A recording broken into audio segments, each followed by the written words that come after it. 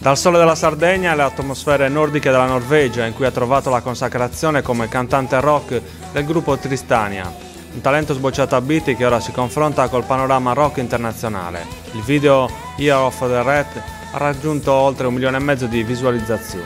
Ariangela De Murtas ieri è tornata a Nuoro, invitata da Musiché per incontrare i suoi tanti fans nuoresi e offrire un saggio della sua bravura. Una voce potente che si esalta nei concerti, ma in grado di dare grandi emozioni anche in versione acustica, come è successo ieri quando, accompagnata al musicista sassarese Francesco Marras, ha deliziato il pubblico proponendo alcuni brani del repertorio di Tristania, ma anche i classici della musica rock. Dopo il nostro tour eh, europeo con Tristania sono tornata in Sardegna, mi sto esibendo in diversi posti e con eh, Francesco Marras, chitarrista.